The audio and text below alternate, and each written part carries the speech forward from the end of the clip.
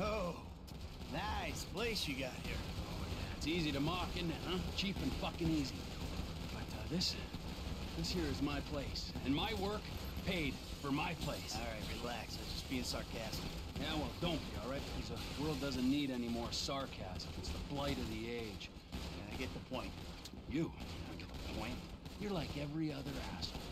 You made a bit of money, and you became a turd. Yeah, news for you. I was always a turd.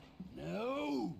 You weren't, man. You were something. But now, man, you know, you're like this place. You're a shell. Go fuck yourself. Are you some kind of pure morally justifiable asshole? But because you're you're you're totally psychotic, somehow it's okay? I'm honest, all right? You're the hypocrite. Oh yeah, you're a fucking hero, so far above it all. Oh, yeah? Well, I'm not above ripping open your fucking chest to see what's replaced your heart. Rip it open! See what's there, baby, because I'm ready.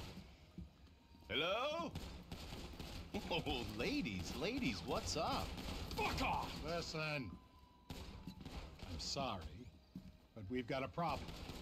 Government funding thing. We need you to uh, uh, investigate a research lab upstate.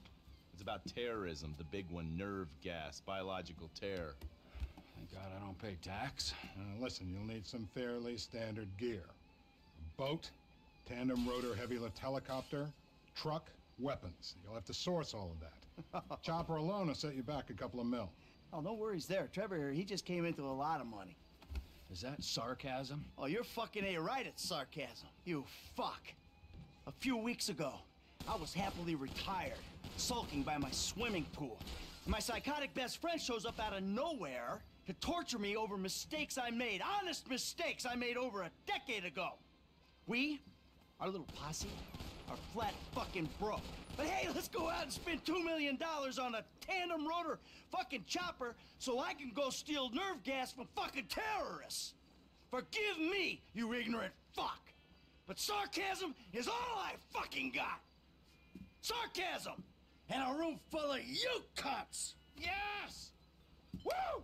Welcome back, man. It is the old you. Yeah, yeah, yeah. Well, we gotta go. It's been great, but Dave here's got a Pilates class. Now remember, ladies, you keep us way out of this thing. Bye bye. Ah, Jesus. All right, I'll give Lester a fucking call. He said he knew about something. And you tell him that we're driving towards Paleto Bay.